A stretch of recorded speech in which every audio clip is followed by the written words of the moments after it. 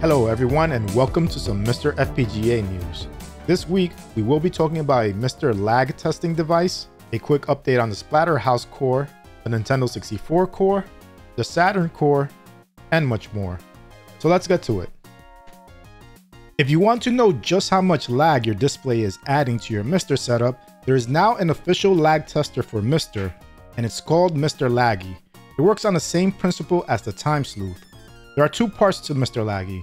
One part is custom hardware that consists of a small PCB with a photo transistor that interfaces with a user port. The other part is a custom core that generates the video signal and captures measurements to let you know the time between the core sending a signal and the display outputting it. This comes thanks to core developer Wickerwaka. The core is already available for download and there are KiCad files that will help you build the hardware. It has gone on sale but is currently out of stock, but restock is planned for the future. Here's a cool FPGA project dedicated to the NES. It's called the NESTang, and it's powered by a small form factor FPGA board to replicate the NES. The project offers a cycle-accurate NES core, game loading via microSD cards, support for USB controllers, HDMI 720p output, and more. All this for around 30 to $40, with its small size, you can easily fit this almost anywhere. This is a really cool project and I would love to see it evolve into a handheld that can run different cores. Check out the GitHub to get more information on the project and to see how to build your own. Darren O and atrac17 are planning to add Zero Team New to their Raiden DX implementation. This game isn't currently emulated in MAME because of some encryption on the V33 chip, so it's great to see it getting preserved. The MARSFPGA will feature an interchangeable front controller port module that will allow you to use original console controllers. The port is SNAC compatible and is a creative and sleek way to have the ports you need for your original controllers. And from the picture, it looks like we'll be having multiplayer SNAC support. The AVS from Retro USB is now back in stock. This is an FPGA NES console that takes original NES cartridges. If you want a detailed look at the AVS, Check out the video by My Life in Gaming. It will give you an idea if this is something for you.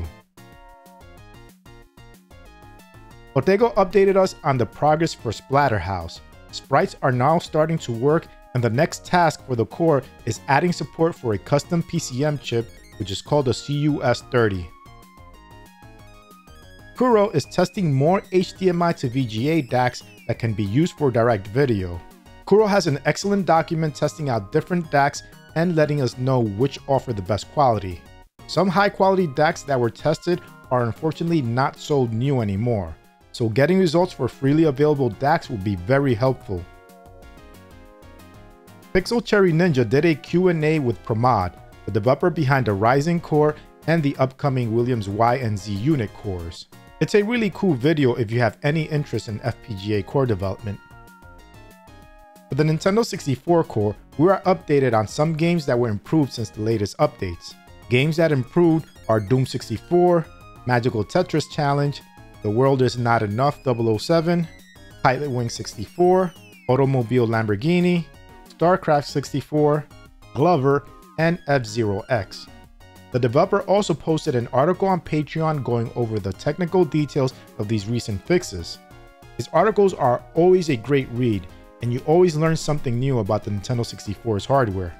And noise alpha blending was added, which helps with the Mario disappearing effect in this video.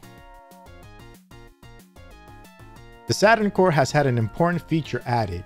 It can now load CD images in the CHD format thanks to zakk4223. The CHD format offers smaller file sizes than other formats, therefore allowing you to store more games in the same amount of space and a reminder that you can now download the Saturn core if you have the Update All script. uberyoji is a creator of several boot ROMs that will give you a cool splash screen for certain cores when you load them. Unfortunately, it looks like the boot ROM method of loading these ROMs will not be supported by MiSTer in the future. uberyoji is asking users to test a new method of loading these boot ROMs by using MGL files. So, if you're a current user of these boot ROMs, check out the post for instructions on using this new method. And if you haven't tried these boot ROMs, here are some quick examples of what you'll see when you load a core.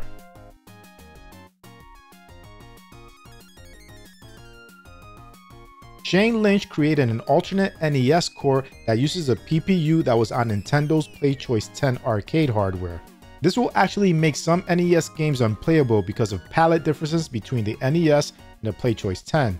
Shane will not add this to the official core because this was more of a curiosity to see how games that use emphasis mode would look. FrankenGraphics on Twitter has a post showing how big the differences are between the palettes. MiSTer Addons has given us a couple of updates regarding some products.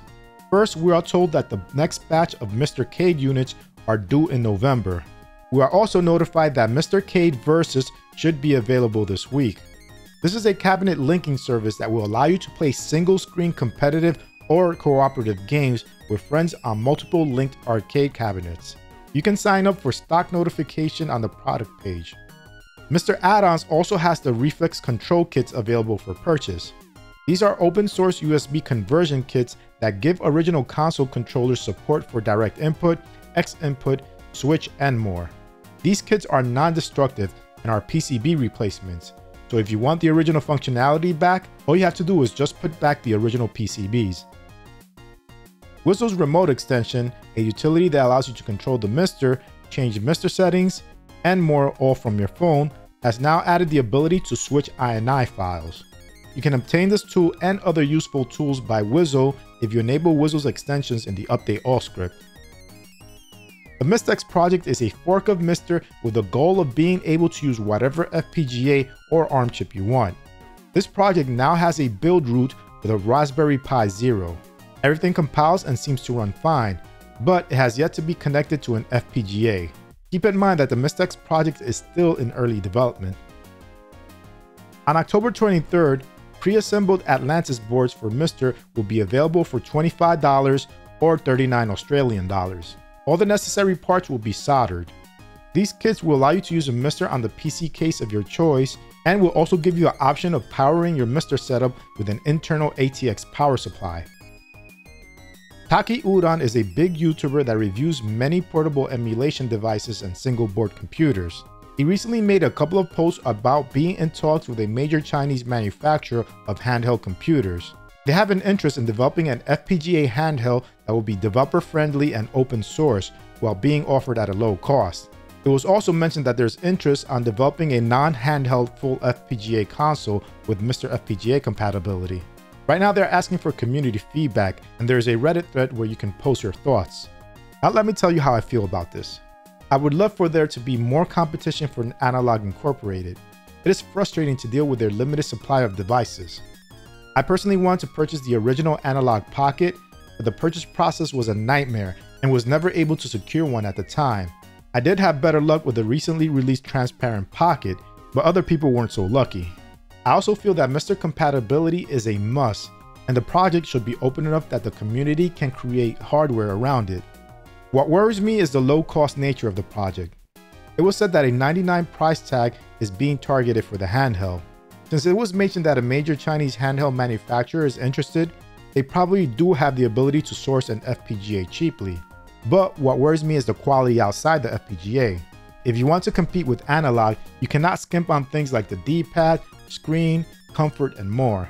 I wouldn't want to see a clone of a current ARM-based emulation handheld with an FPGA instead. So I hope the community feedback can drive it to what we want. So that's it for this episode. I provided links to all my sources in the description. Make sure you also check out RetroRGB.com to see my MiSTer News videos in blog form and to get more retro related content. And if possible, support them on Patreon too. Anyway, I hope you enjoyed this video. If you did, please give it a like. And if you want to see more content like this, hit the subscribe button and its bell icon so you can get notified of future videos.